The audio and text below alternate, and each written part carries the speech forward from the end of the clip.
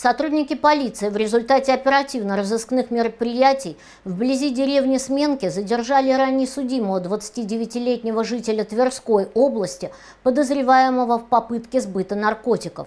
В ходе досмотра в пакете злоумышленника оперативники обнаружили и изъяли два полимерных свертка с порошкообразным веществом.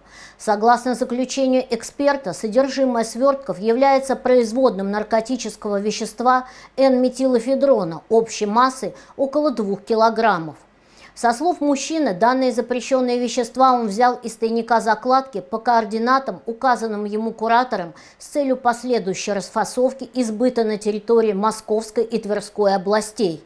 В отношении правонарушителя возбуждено уголовное дело и избраны меры пресечения в виде заключения под стражу.